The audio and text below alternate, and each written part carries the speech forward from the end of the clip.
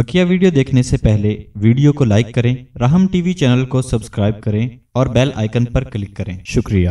रोशन खदीले के तहत आज हम आपसे वाक़ शेयर करेंगे इमाम आज़म अबू हनीफ़ा रहमुल्लाह ताला का।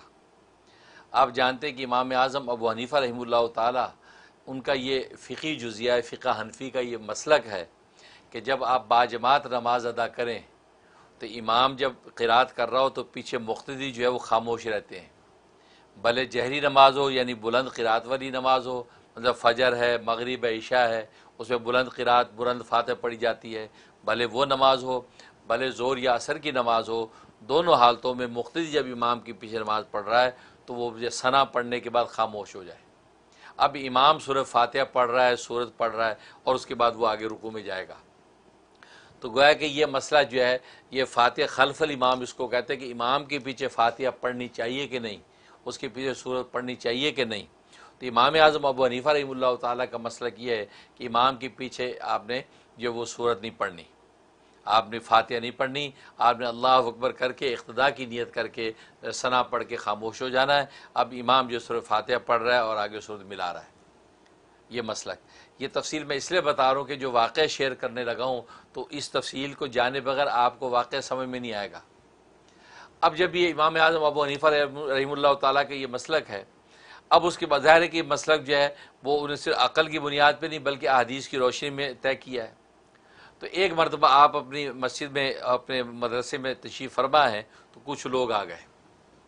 कुछ लोग आके आपसे बहस करने लगे कि इमाम के पीछे फातिहा पढ़ने, ना पढ़ने के बारे में आपसे बात करनी ज़ाहिर वो जो लोग आए थे वो इमाम के पीछे फातिहा पढ़ने के कायल थे कि इमाम की जो फातिहा पढ़नी है। लिहाजा उनके अपने दलाल हैं। अब जब ये बहस करने लगे, अब जो कुछ चंद लोग और हर एक आके तू तकार शुरू कर दी उसने।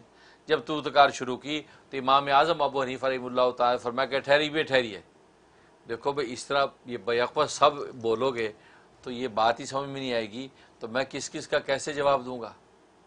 आप में से एक आदमी एक आदमी सबका नुमाइंदा बन के वो मुझसे बात करे।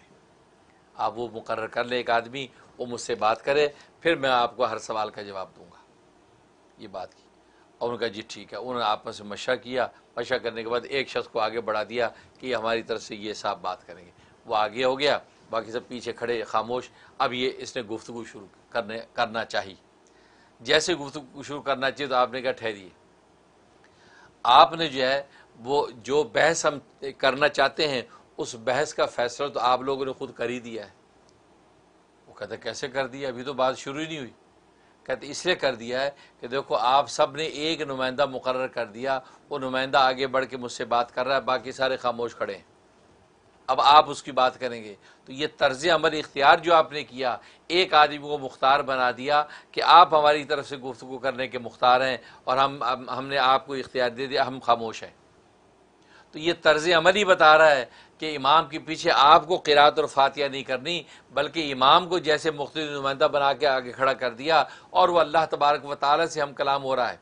उनकी, उसके अल्लाह तबारक व ताली के सामने जो है आपको नुमाइंदा बन के दरख्वास्त पेश कर रहा है। तो फिर आपको बोलने का जैसे यहाँ पर कोई जवाज़ नहीं है, ऐसे उस इमाम की खड़े, पीछे खड़े मुख्तियों को भी बोलने का कोई जवाज़ नहीं लिहाजा उनको भी अब खामोश खड़े होना चाहिए, क्योंकि उन्होंने इमाम को इमाम मान की इख्तदा की नीयत कर ली और उसको जो नुमाइंदा बना दिया और वो दरख्वास्त हिदायत जो है वो अल्लाह के सामने रख रहा है। तभी तो कह रहे एह दिन सरात मुस्तकीम। अल्लाह, हमें हमें सरात मुस्तकीम की हिदायत अता फरमा। हमें का मतलब ये को इमाम जो है वो सब की तरफ़ से ये दरख्वास्त हिदायत अल्लाह को पेश कर रहा है, जमा का सीगा बयान कर रहा है। ये नहीं कहा कि दिनी अल्लाह, मुझे मुझे जो है वो जो सरात मुस्तकीम की हिदायत दे, बल्कि एह दीना अल्लाह हमें। तो ज़ाहिर है कि नुमाइंदा जो है सबकी तरफ़ से होकर बात करता है। तो तुम्हारे तर्ज अमल ने फैसला कर दिया कि जब फातिहा इमाम के पीछे नहीं पढ़नी अब जब ये बात कही तो वो लाजवाब हो गया। हक्का बक्का एक दूसरे को देखने लगे। फरमाने लगे कि अब वाकई इमाम आज़म अबू हनीफ़ा ने इंतहाई जहानत के साथ जो हमें बाँध दिया है। और हकीकत ये है, इमाम आज़म अबू हनीफ़ रहमत वो इल्म कलाम की भी ऐसे हाफिज़ थे कि उनके सामने गुफ्तु में कोई ठहर नहीं सकता था। और फिर ये आपने मसला, ये तो अकली तौर पर आपने उनको जो है लाजवाब किया। लेकिन आपने ये मसलक जो है, अहदीस की रोशनी में तय फरमाया, क्योंकि हदीस में आता है। खुद नबी करीम सल्लल्लाहु अलैहि वसल्लम का इशाद है कि मन कान लो इमाम फ़क़रातुल इमाम लहो किरातुन। तो जिस शख्स का इमाम है और इमाम के पीछे मुख्ती बन के नमाज़ पढ़ रहा है तो फरमाया कि इमाम की जो किरात है, वही मुख्तदी की किरात होती है। इमाम जो किरात कर रहा है, वो मुख्तदी की तरफ़ से अल्लाह के सामने पेश कर रहा है। और तभी कुरान करीम में ममानत करार दे दी कि वहीजा कुरियल कुरान फस्त मिलवानसितु कि जब कुरान करीम पढ़ा जाए वहीजा कुरियल कुरान जब कुरान करीम पढ़ा जाए तो फस्त अम्यू तो तुम जो वो तवज्जो से सुनो वानसितो और खामोश रहो। लामून ताकि अल्लाह तबारक व तुम पर रहम करें, तुम पर रहमत उतरे। तो देखो, तवज्जो से सुनने और खामोश रहने का हुक्म। और ये जो आयत है, इस आयत के बारे में पूरी उम्मत के फ़ोखा इस्लाम का इजमा है, पूरी उम्मत का, कि ये आयत नमाज़ के बारे में उतरी है। ये नमाज़ के बारे में अल्लाह तबारक व ने फरमाया कि जब कुरान पढ़ा जाए, तुम तवज्जो से सुनो, खामोश रहो। इसलिए कि आम हालात में कुरान कब पढ़ा जाएगा, कब नहीं पढ़ा जाएगा, किसको क्या खबर है? लेकिन नमाज़ में तो डेफिनेटली कुरान पढ़ा जाता है। इसलिए डेफिनेटली नमाज़ ही के बारे में आयत उतरी है। वरना जो है, कुरान पढ़ा जाए, कब पढ़ा जाए? आम हालात में कुरान पढ़ा जाना कोई फ़र्ज़ नहीं है। कि जनाब महल्ले में कुरान पढ़ा जा रहा है महफ़ कराज कराई जा रही है तो आम जो है, ऊँचा कुरान पढ़ा जाना, ये कहाँ फ़र्ज़ वाजिब लिखा है कि लोगों को ऊँचा कुरान पढ़ना है और पढ़ेंगे तो दूसरे सुनेंगे। ऐसा तो कोई शरीयत का मसला ही नहीं है। तो मालूम है कि एक मकाम है जहाँ कुरान पढ़ा जाना फ़र्ज़ है और वो ये है कि नमाज़ की हालत। तो नमाज़ की हालत में कुरान पढ़ा जाना फ़र्ज़ है, लिहाजा उसी वक्त में अल्लाह तबारक वाल फरमाया कि जब इमाम कुरान करीम पढ़ रहा है तो मुख्तियों को चाहिए कि वो खामोश रहें, क्योंकि उनका पढ़ना इमाम का पढ़ना, वो मुख्तियों का पढ़ना है।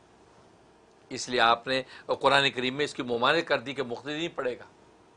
और फिर सही मुस्लिम की हदीस है कि नबी करीम अलैहि वसल्लम इशाद फरमा दिया वैज़ा कराफान से तो कि जब इमाम किरात शुरू करे, यानी फातिहा पढ़ना शुरू करे, किरात शुरू करे तो फानसितु, तुम खामोश हो जाओ। वरना फरमाया कि जब कब्बरा फ़कबिरू जब इमाम तकबीर के अल्लाह अकबर तकबीर तहरीमा कहे तो तुम भी तकबीर तहरीमा कहो। जब वो सना पढ़े, तुम भी सना पढ़ो। लेकिन जब वो इजाकारा, जब वो किरात शुरू करे, यानी कुरान करीम पढ़ना शुरू करे, यानी कुरान करीम पढ़ने में सुरफ फातिहा पहले आ रही है सुरफ फातिहा पढ़ रहा है। सुरफ फातिहा के बाद अब वो सुर पढ़ रहा है। तो फरमाया कि जब कुरान पढ़ना शुरू करे, फांसी तो तुम खामोश हो जाओ। फिर आगे चल के फरमा रहे हैं, और जब इमाम कहे कि गैर मखदूब आलिम वलीन जब ये कहे तो फरमाया क्या कूलू आमीन, तुम सब आमीन कहो। तो गोया कि नबी पाक सल्लल्लाहु अलैहि वसल्लम ने मुख्तियों को फातिहा पढ़ने से मना कर दिया जब वो इमाम के पीछे हैं। और हुक्म दे दिया वैज़ा करा जब वो किरात करे, फातिहा पढ़े, फांसी तो तुम खामोश रहो। और फिर आगे फरमाया, जब वो गैर मौजूब वालीन इमाम कहे। अब देखो, वहाँ भी नबी पाक से इमाम का ज़िक्र कर रहे हैं कि इमाम जब वो कहे, ये नहीं कि जब तुम सारे जब गैर मौजूब वलदालीन कहो, नहीं, इमाम जब वलदालीन कहे तो तुम पीछे जो खड़े हो, सब आमीन कहो। तो देखो क्या मालूम?